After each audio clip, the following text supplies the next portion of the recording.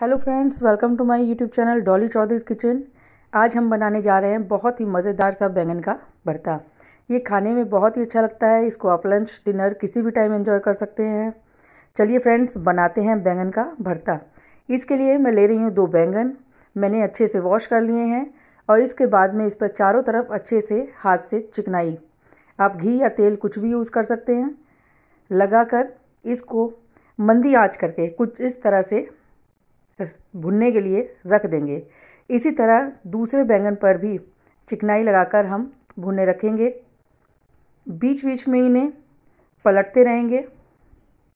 देखिए, एक तरफ़ से भुन चुका है, मैंने दूसरी तरफ़ से पलट दिया है। इसी तरह दूसरे बैंगन को भी हम पलट देंगे।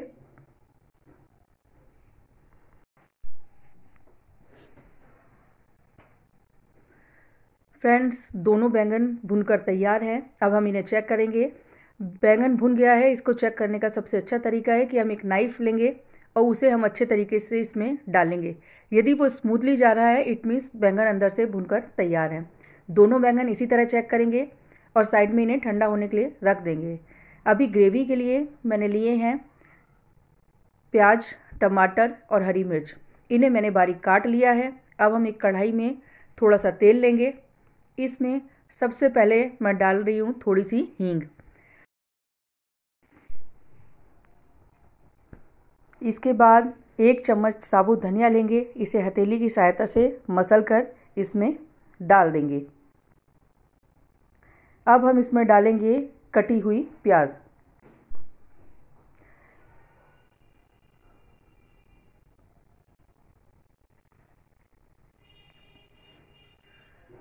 प्याज को अच्छे से चलाकर सुनहरा होने तक भुनेंगे।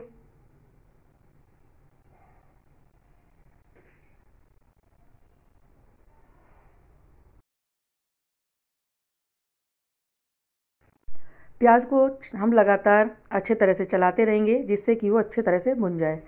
प्याज भुनकर तैयार है। अब हम इसमें डालेंगे कटा हुआ टमाटर और हरी मिर्च। इसे भी डालकर हम अच्छे तरह से चलाएँगे।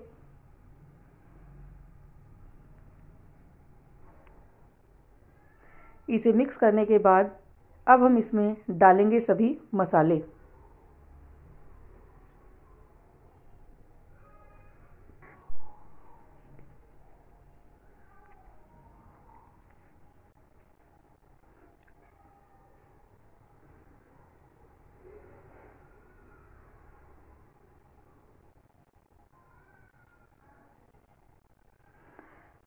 इसमें मैंने डाली है लगभग आधा चम्मच हल्दी,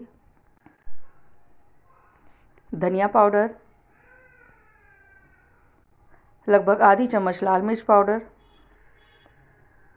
एक चम्मच नमक। आप सभी मसाले अपने स्वाद के अनुसार कम या ज़्यादा कर सकते हैं। अब हम इन्हें अच्छे से मिक्स कर लेंगे।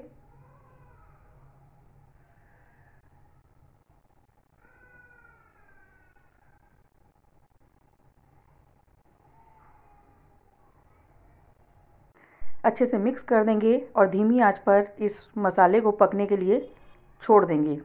अब हमने जो बैंगन भून कर अलग रखे थे, उसको हम कुछ इस प्रकार से छील लेंगे।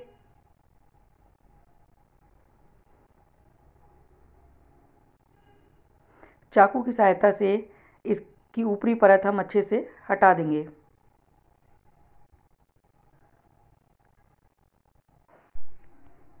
इसको अच्छी तरह से छीलने के बाद फ्रेंड्स, हम इसको कुछ इस तरह से काट कर फैला कर देखेंगे।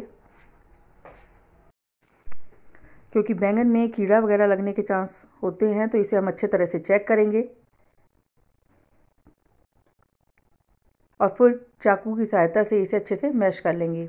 अब हमारा टमाटर प्याज का मिश्रण अच्छे तरीके से भुनकर तैयार है।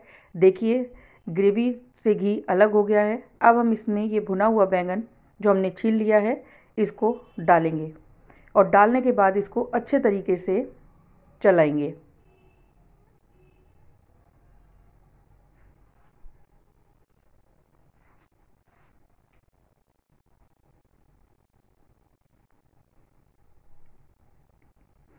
इसको पाँच मिनट के लिए मंदी आँच पर पकने के लिए हम छोड़ देंगे।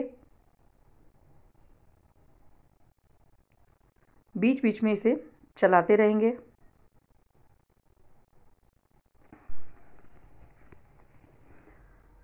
पाँच मिनट हो चुके हैं और हमारा बैंगन का भरता भी अच्छे तरीके से बनकर तैयार है। फ्रेंड्स, इसे आप लंच, डिनर कभी भी बना सकते हैं और पराठे, रोटी जिसके साथ आप खाना चाहें खा सकते हैं।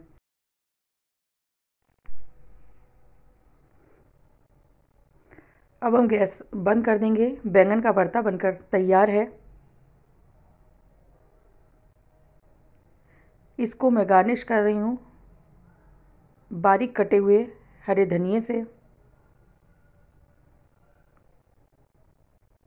फ्रेंड्स, आपको मेरी रेसिपी कैसी लगी कमेंट सेक्शन में ज़रूर बताएँ और मेरे चैनल को लाइक, शेयर एंड सब्सक्राइब करना ना भूलें।